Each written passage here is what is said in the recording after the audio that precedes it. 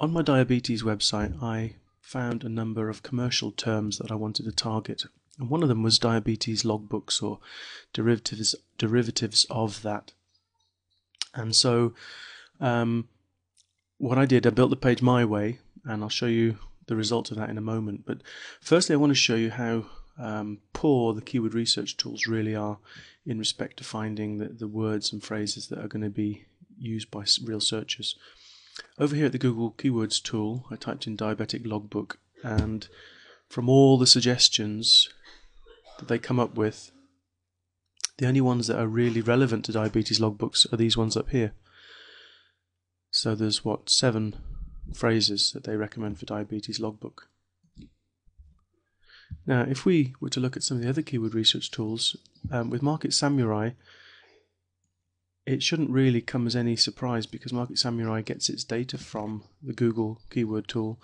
Um, let's just put in log as a positive keyword and update. And you can see we've, we've got a small handful here of keywords that are related to logbooks uh, in the diabetic sense.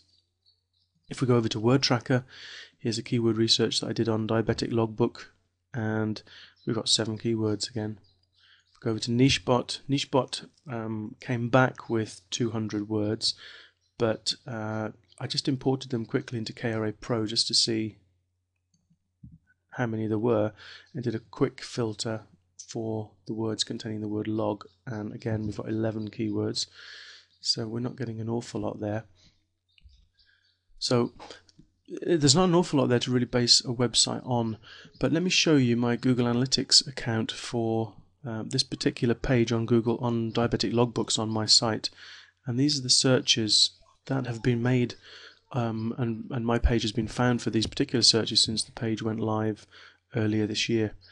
Scroll to the bottom, these are all phrases that were searched in Google, and my web page was found as a result of it. If we scroll down, we can see we're not finished yet because actually we've got 627 phrases that my my uh, web page has been found for.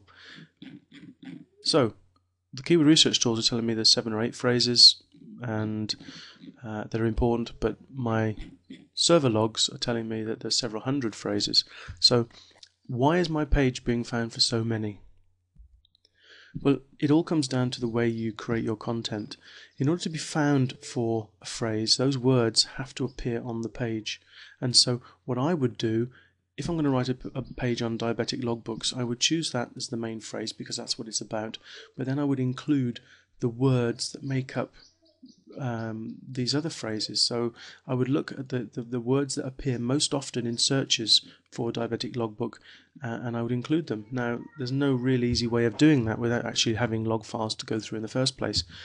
But with KRA Pro, what I uh, developed here was uh, a tool that could actually bring back the words and phrases that I should include. So if I put diabetic logbook and we'll just send it on its way. I'm going to pause the video and we'll be back when it comes back. With the keyword spider completed, I can then go down the list of words and phrases that I think are going to be important.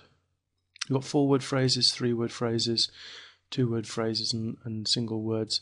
Now, not all of the words and phrases are going to be important to you, but you can go down and you can find those ones that are and you can check them off and you know then create the little report which shows all of your theme words now I've just quickly gone through the various sections and I'm just going to create the quick report which I can now show you very briefly so these are the words and phrases that uh, were found a lot on the top pages of Google and they're the sorts of phrases that you put into your page if you were building a page around diabetic logbooks.